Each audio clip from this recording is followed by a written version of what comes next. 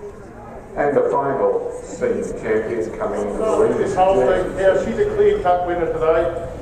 She's uh, she's the uh, ideal cow for what you um, want to see come through your dairy. She's just just the capacity in the cow, and that fullness and bloom in the udder, and that teat placement makes her win this pretty handsomely today. But overall, very good class of cows. Thank you.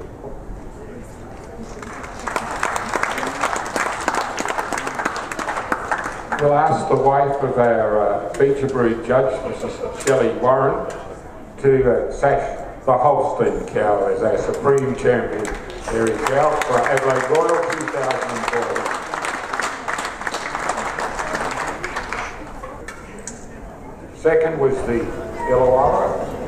Third was the Jersey. Right, fourth was the of our ASU judge, Mr. Michael Eagle.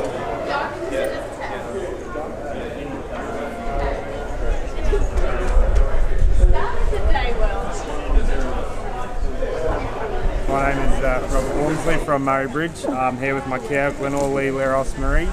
Um, she has just won Senior Champion Cow and Supreme Champion exhibit here at the Royal Adelaide Show.